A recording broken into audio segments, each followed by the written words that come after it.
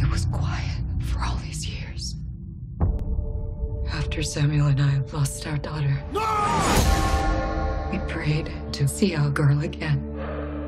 The contact started small. But then she wanted permission to move into the doll. We soon realized it wasn't our daughter. So we locked it away.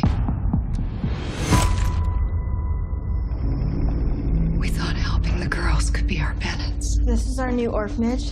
Wow, this is big as a castle.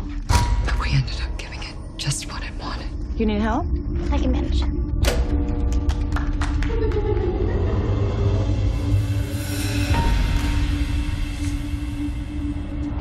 Sister, you always say that even though we can't see God, we can feel His presence. In this house, I feel a different kind of presence. An evil one. It's coming after me. Because I'm the weakest.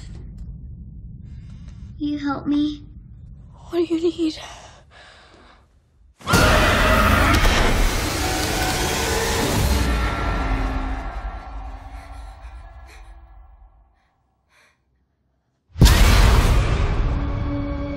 Are you okay? I'm fine.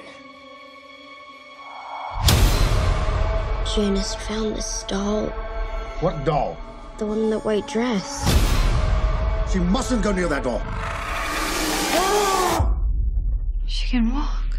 Forgive me, sister, for I was sin.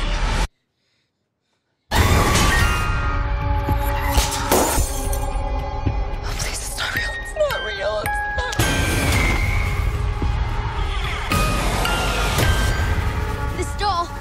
It's Janice!